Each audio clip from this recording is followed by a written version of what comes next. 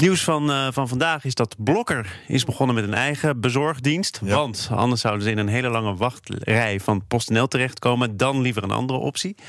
Is het uh, eerste schaap over de dam en volgende meer? Ja, ik denk dat dat uh, wel zo is. Hè. Ik denk dat het ook een hele creatieve invulling is van... joh, hoe kan ik mijn mensen optimaal inzetten... Hè, om gewoon toch voor te zorgen dat al die pakketjes... die nu nog bij Blokker opgeslagen liggen... om die bij de mensen thuis te krijgen. Nou, de, de, de vervoerders staan natuurlijk allemaal onder massale druk op dit moment... Hè, om het allemaal voor elkaar te, te boksen.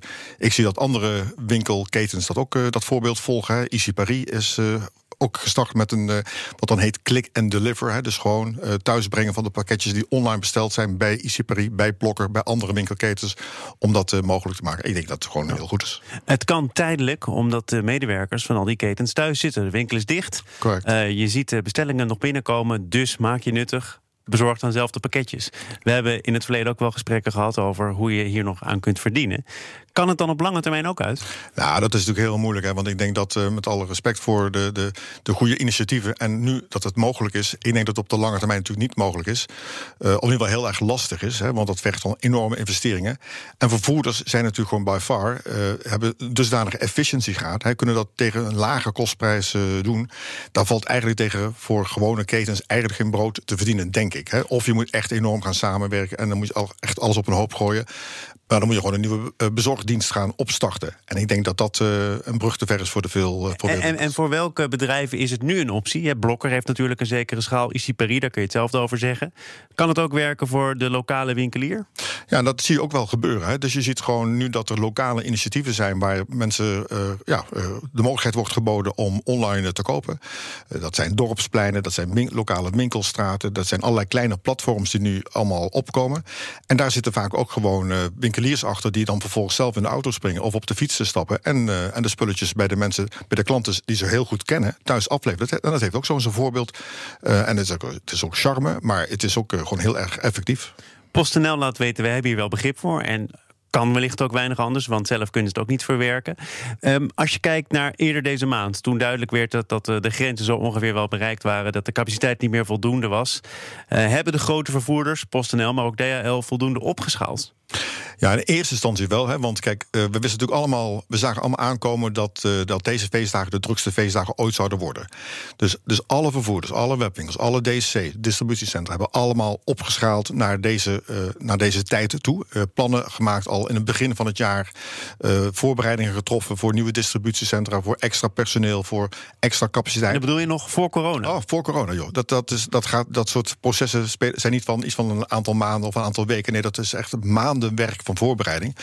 Nou, dat heeft ons in zekere zin ook wel heel erg geholpen. Maar ja, goed, uh, het mogen duidelijk zijn. Toen uh, de tweede golf uitbrak en vervolgens ook nog nu de, de, de lockdown...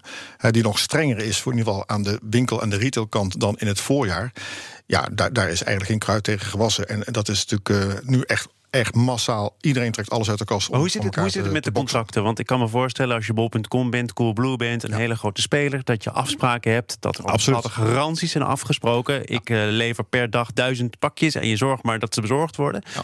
Hoe ga je er nou voor zorgen dat ook jij als kleinere winkelier, kleinere ondernemer, toch nog weet dat je pakketje in het juiste wagentje zit. Ja, nou goed, wat je ziet gebeuren is dus de, de, de grotere spelers, middelgrote en grote spelers, die hebben allemaal gewoon contracten.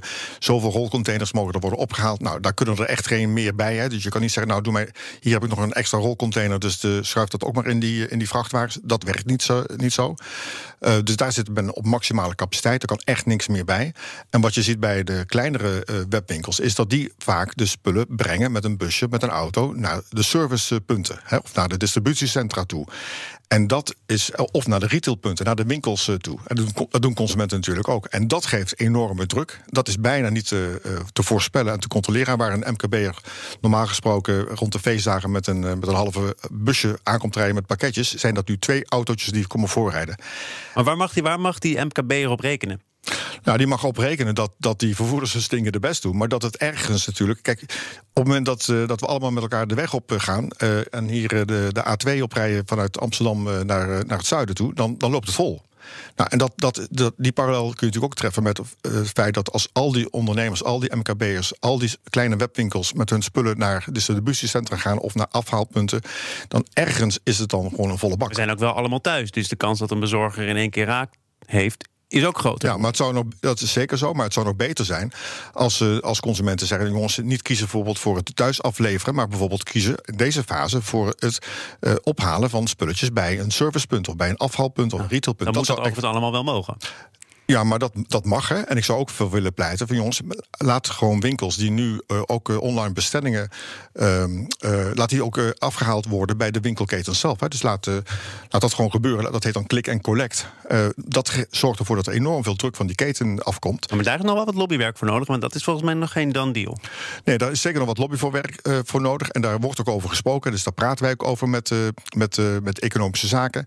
Ehm, de retailers die willen dat graag. we zien dat die druk op die, op die servicepunten, dat gaat op zich eh, goed. Hè? Dat gaat op zich op een goede en veilige manier. Maar dat kunnen meer servicepunten worden, dat kunnen meer afhaalpunten uh, uh, worden. En dus mijn, mijn oproep is zeker ook om niet allemaal massaal te kiezen om dat thuis te laten bezorgen. Maar joh, gaat het gewoon, laat het brengen. Dat is veel efficiënter natuurlijk ook nog eens een keer naar een servicepunt of een afhaalpunt. en gaat daar ophalen. Dat is, ja, dat is gewoon veel beter.